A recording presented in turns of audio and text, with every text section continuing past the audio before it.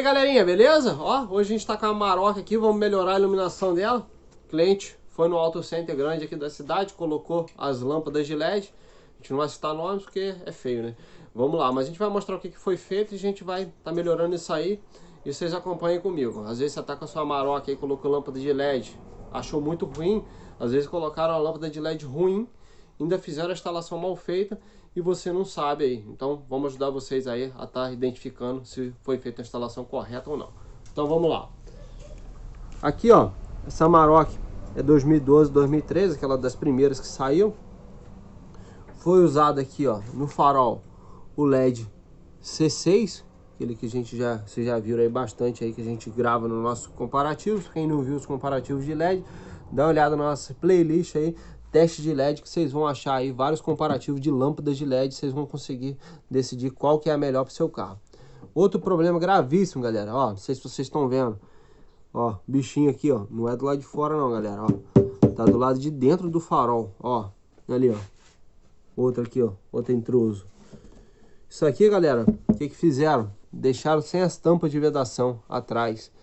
É, falaram com o cliente que era por causa que a lâmpada ia esquentar demais, mas na verdade a causa real que eles deixaram essa lâmpada sem a, o farol sem a tampa traseira é porque uh, essa lâmpada C6 ela tem a parte traseira muito comprida e a tampinha não fecha.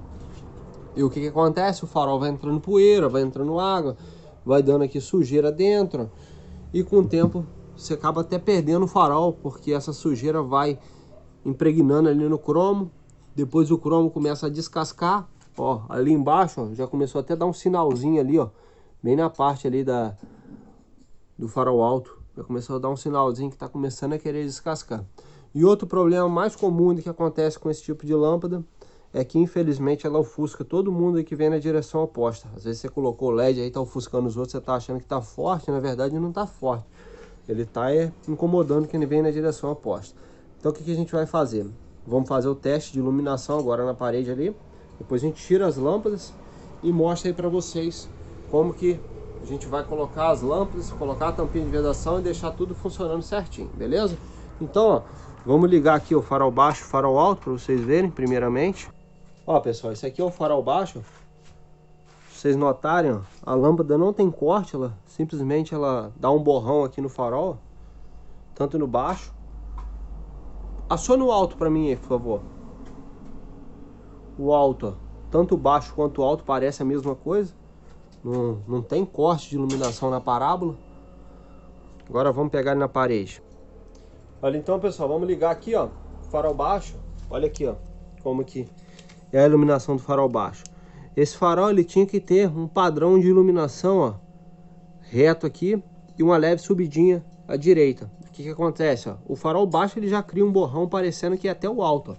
Quando a gente aciona o alto aqui, ó, ele só fortalece esse poder ali, ó, tá vendo?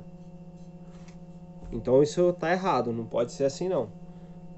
Farol de neblina, um aqui tá queimada já, ó. Vamos tentar acionar aqui somente o neblina. Não dá, tem que acionar mesmo só junto com o farol baixo. neblina também, ó, não tem corte nenhum de iluminação, ele também cria outro borrão.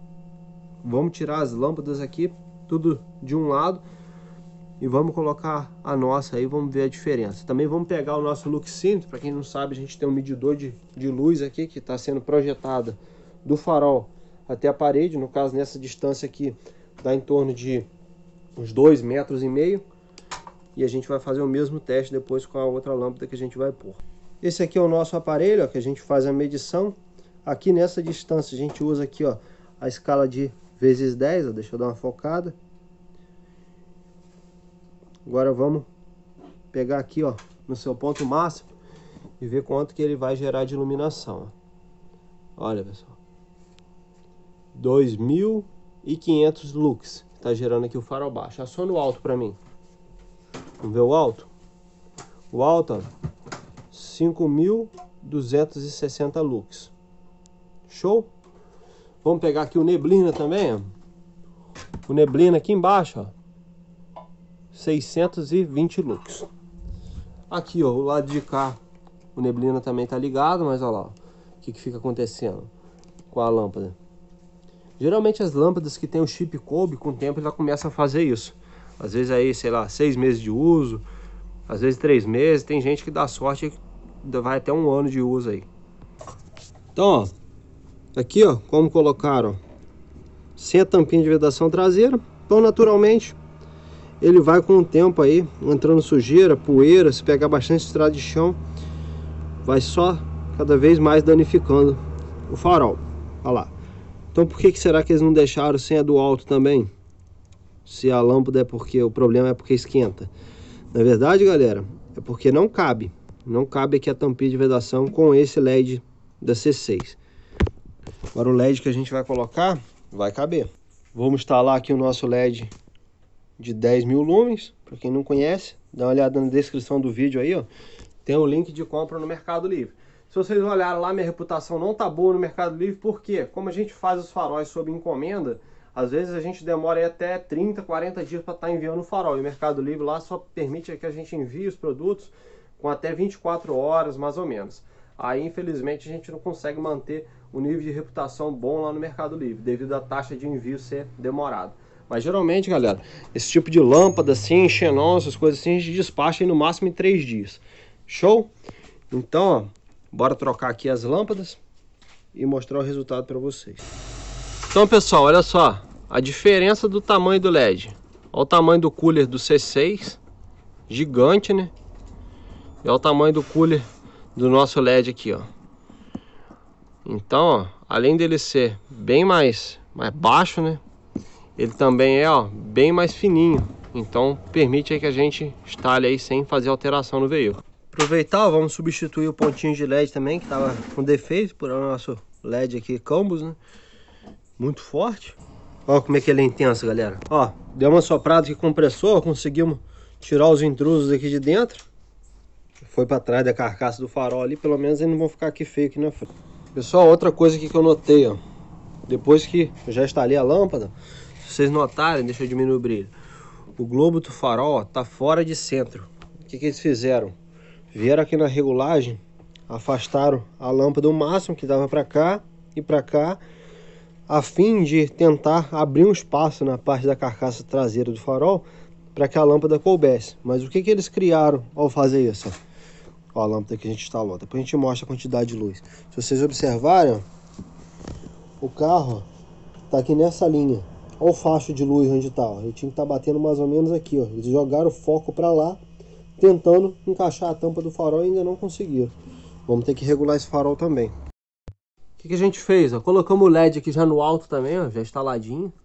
Tampinha de, de vedação já tudo certo no lugar. Aciona só o alto independente aí que a gente vai fazer um comparativo do alto do lado de lá para o alto do lado de cá. Vamos lá. Desliga o alto. Aciona aí o alto. Se vocês notarem, ele fica bem mais concentrado. Olha o alto de lá como é que espalha muito. O de cá como é que fica concentrado. Vamos ver agora quanto que isso gera de luz. Somente o alto, independente, sem o baixo ligado. Ó, o alto aqui, ó, tá na escala de vezes 100, galera. Já coloquei na escala de vezes 100. Vamos voltar aqui para a escala de vezes 10, ó. Escala vezes 10. 3.440 lux. Vamos ver esse lado agora. Ó, como que é muito mais forte, galera. Olha a potência. Tá vendo aí? 19.300 lux, ó. Tiro alto. Aciono alto. Então é isso, galera. Fica bem mais forte. Dá uma diferença de luz aí gigantesca. Tiro alto. Aciono alto. Tiro alto. Aciona. Tira. Aciona. Então é isso aí. Agora a gente vai fazer a regulagem aqui do farol baixo também, instalar o LED aqui no neblina. LED do neblina, infelizmente, a gente não tem esse modelo de 10 mil lumens, a gente vai usar o ASX de 7 mil lumens também, que gera muita luz, vocês vão curtir também. E as cores aqui fica batendo tudo certinho. Pessoal, conseguimos ligar só os neblinas separados aqui, ó. Olha o LED ASX e o LED C6. Na verdade nem é C6 o do neblina. neblina é esse aqui que colocaram, neblina e alto, mas uso mesmo chip Kobe aqui.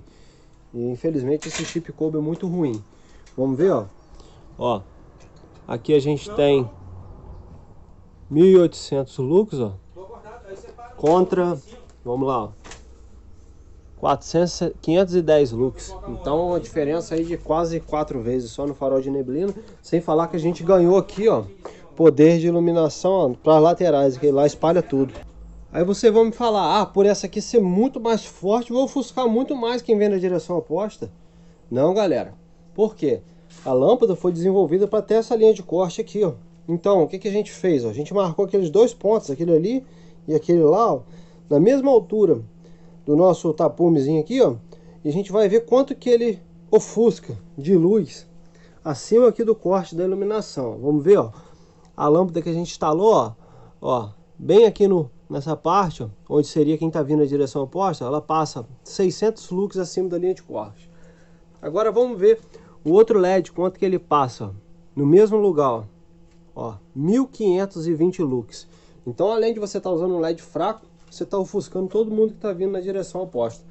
Esse LED aqui, ó, você vai ofuscar quase nada, porque ele tem essa, esse padrão de iluminação para ter essa, essa linha de corte igual é na original.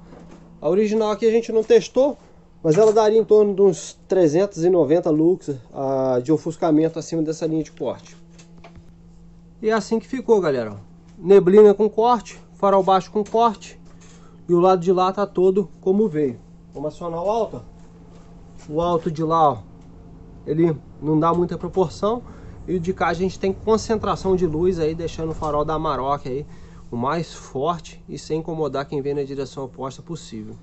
Outra coisa que deve incomodar bastante aí quem tem esses carros, ó, é o barulho do cooler desses LEDs, ó. É um barulho bem, bem intenso. Aqui a gente já instalou, o cooler não faz barulho algum. É silenciosinho. Pessoal, estão finalizando, ó. Vou mostrar para vocês como que ficou. Agora a gente vai ligar farol baixo, farol alto aí, fazer o mesmo comparativo que a gente fez no início do vídeo ali. É, em vez de fazer os comparativos independentes. Aqui a gente já está a longa distância. Afastamos o carro aqui um pouco lá, ó, da, da parede, da medida que a gente tinha. E olha o corte de farol baixo. Perfeito, aciona o alto.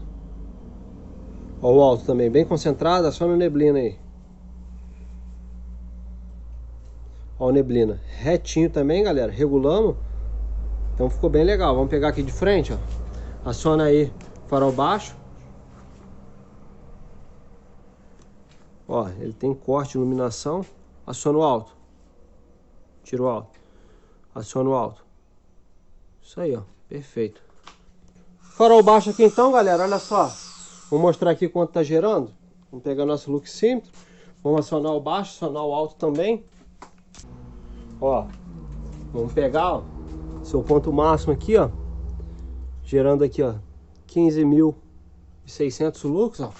Mesma distância que a gente estava medindo aquela hora. Aciona o alto. Vamos ver o alto? Aqui acontece, agora a gente está acionando o alto junto com o baixo, então ele vai pegar um pouco de iluminação do farol baixo aqui também. Então ele vai com certeza passar muito daquela medida que a gente estava colocando. Ó, 26.900 lux. Então o farol dele vai melhorar bastante. Como vocês viram, o farol baixo original com o alto original estava dando apenas 5.600 lux. Agora a gente tem aí 25.600 lux. Então ganho bem, bem legal aí usando esse LED que a gente está trabalhando. Então lembrando aqui, ó, farol alto e baixo LED SB de 10 mil lumes, é, de 10 mil lumes, né? Farol de neblina LED ASX. Então, ó, se você curtiu mais esse trabalho, quer tirar aí suas dúvidas e não ser enganado na hora de estar tá instalando aí lâmpadas no farol do seu carro, dá uma olhada nos nossos vídeos no nosso canal, tem muito conteúdo aí para vocês. Tamo junto, fiquem na paz, valeu galera!